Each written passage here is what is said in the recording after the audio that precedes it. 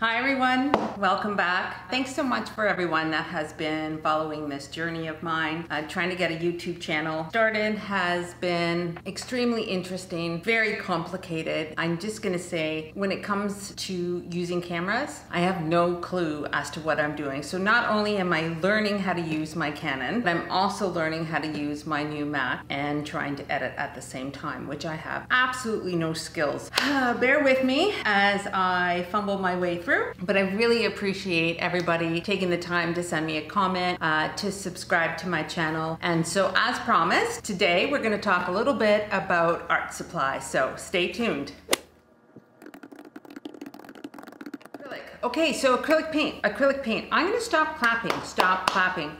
Uh, okay, acrylic paint is what I love using and I use a whole bunch of different types. I do have a preference in the grade of acrylic that I'm using. I made the mistake of going out and buying myself, treating myself years ago to a bottle of golden paint. After I saw the vibrancy of the colors that they have, it was really hard to go back. No offense to all the other paints on the market. I do like Liquitex. I'm starting to enjoy that. I like that I can get these really large bottles. I like um, um, the tops of these bottles also, except they do, I'm really bad for not cleaning the tip, but it's a snap snap bottle like this. These are soft body, soft body Liquitex. And then I have golden, which is fluid. This is again golden acrylic, and this is heavy body. This was my first time trying the heavy body. I also like high flow from golden paint. So this is the thinnest, which is the high flow, so it's very liquidy.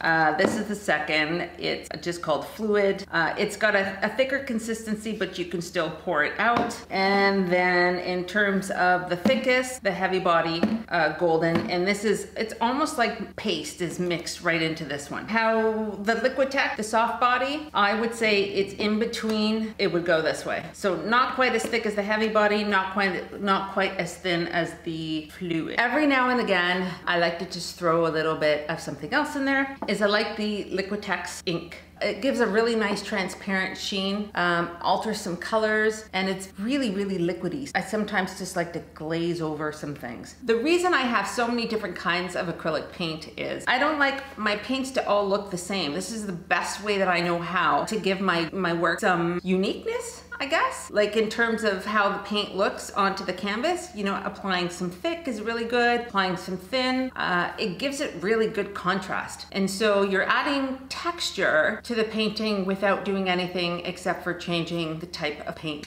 The other thing I talk about every now and again that I always forget the name of is High Flow Medium from Golden. How I use this is sometimes I need my paint to be even more runny than what this can do but I don't have this color, like this yellow in high flow. What I do is, is I use this to water down paint and make it now a high flow acrylic paint. And the reason I use this opposed to water is because of the binder that's in the acrylic paint. You don't want to water down your acrylic paint too much. The binders need to be able to connect to each other. And if you saturate everything with water and you disrupt the chemical balance, it no longer holds together. And so it's not archival anymore.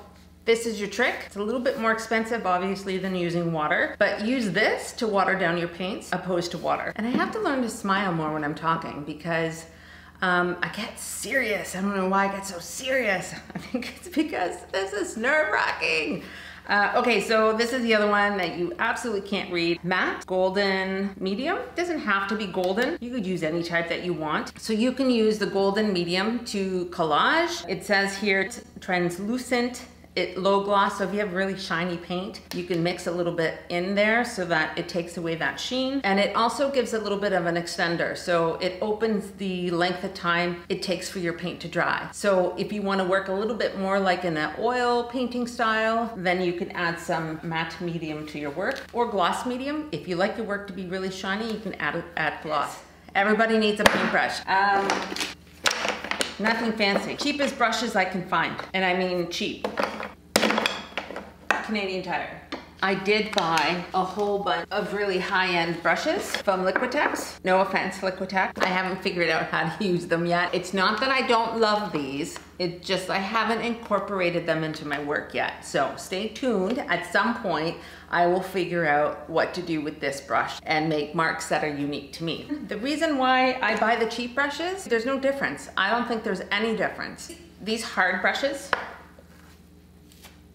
I've used this brush so many times that the bristles have turned and they permanently stay that way. When I first bought these brushes, I despised them.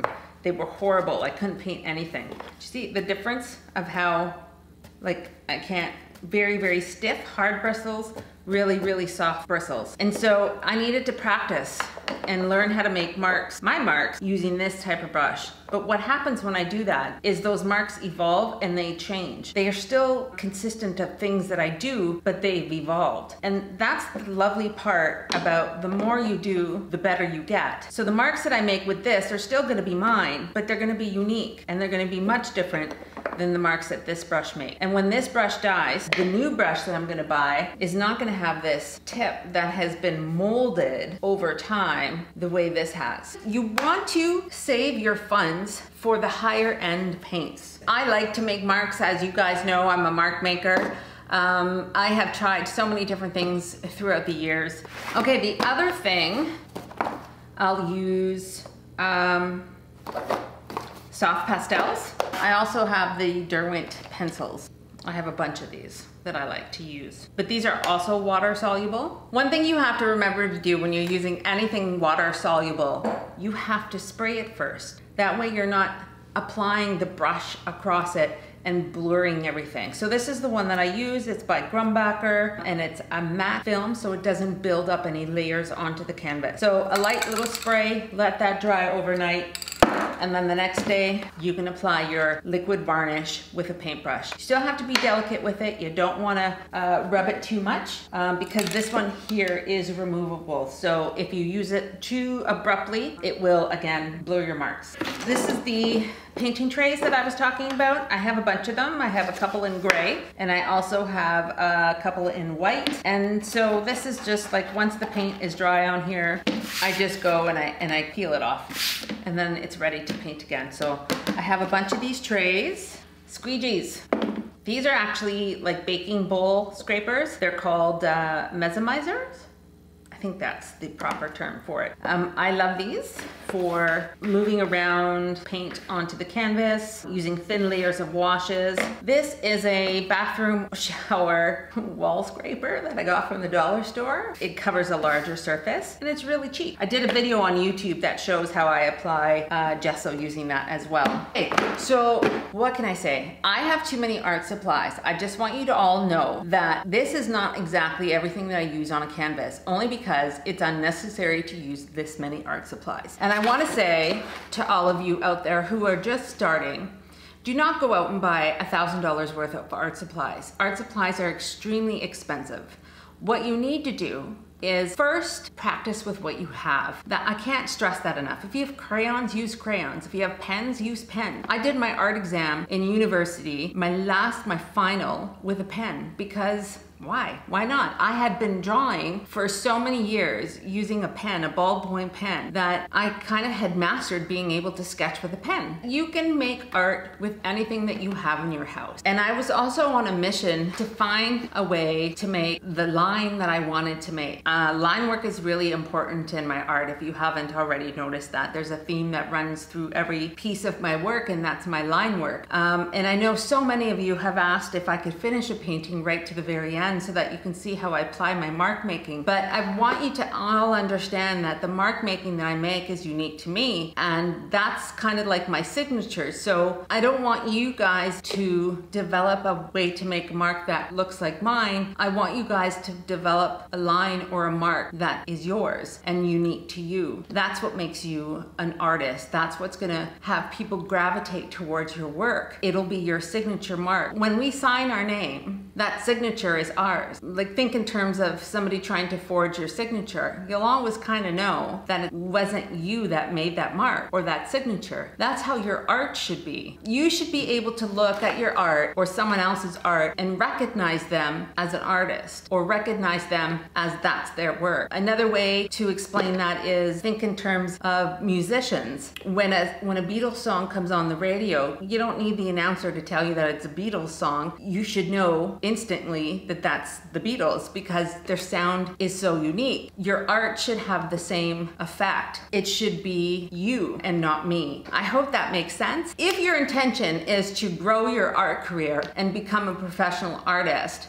that's what you need to be practicing is your own marks. I'm giving you an insight into the tools I use, but now your your job is to go and take those tools and play with them over and over and over and learn everything about them. And it's when you learn everything about the tools that you're using is you'll be able to make those marks that are going to be unique to you. So I hope that answers your question about what I meant by learning your signature style and what that means in terms of the art world. Okay, so other tools that I want you guys to know that I use.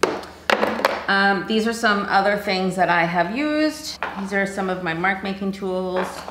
The last thing that I use to make my marks, I use these large Molotow markers. This one's an empty one. Is it empty? It's not empty. It's white. How funny is that? This was an empty marker, but I have obviously filled it with a high flow liquid golden paint. Yes, I don't really, sorry Molotow, but I don't really care for the quality of the paint that is inside these markers. And so I, when I buy them, I'll use what's in it. And then once it's empty, I have figured kind of a way of how to open it. And then I fill it with my own high flow golden paint. Just don't use the paint inside the markers fill it with high flow golden paint. Um, and so they come in different sizes. So here's just a thin one. And these nibs are extremely expensive, but you can get them replaced. I don't know if you could see that, uh, but this is a Sharpie peel off China marker. I love China markers. I think they're kind of fun to use. And I'm, I'm gonna tell you right now, don't buy any other kind of China markers that aren't made by Sharpie. Sharpie has the best quality ones. Last really the last thing I really use is just pencils. Nothing, they're just drawing pencils. They're not special pencils. Um, this is actually a pencil crayon and by Goldfaber. I haven't really figured out how to use this yet. It's too, it's too delicate for the work that I'm doing, but perhaps if I used a much, a much lighter weight canvas, I would be able to use, I just think the colors are so pretty. Um, so eventually I, I will figure out what to do with this or use it in some sort of uh, in some of my work. And so these are just drawing pencils. I like the like 4Bs and up, 4, 5B, 6B, 7B, 8B. The other thing that I'm just starting to play around with is pouring medium. Not in terms of like pouring art, but I'm playing around with changing the consistency of some of the fluid high flow paints from golden just to get even a, a different kind of texture in paint. I love differences and I love contrast of thin and thick and light and heavy. So I just started playing around with that. I haven't really come to a way of using it yet, but it, this is what I mean about practice. So when I first bought all of these art supplies, I had no clue what to do with any of this stuff. It was trial and error. It was hours and hours and hours of me playing around and not caring what I was doing. It was really just about making art. One more thing. Um, I don't like waiting for my paints to dry, so having a hair dryer handy, one that maybe isn't one that you're using on your hair, is great to have in the studio to help dry some of your work. You don't want to dry your really thick medium because that if you force that to dry too quick, it could have cracks in it. Unless you like the cracks, I mean, that can all be a part of your process and it can add an, an, a texture to your work. So these are my supplies. It's crazy how much stuff I have. And there are days where I honestly just take out my paints and and a China marker, and that's really it. It's about using what you have and learning how to use it to the best of your ability that is gonna make your work shine. So I'm gonna leave you with this and say, practice, practice, practice. And that's the best way that you're gonna make art that resonates with yourself and with other people. So stay tuned and we'll see you all soon.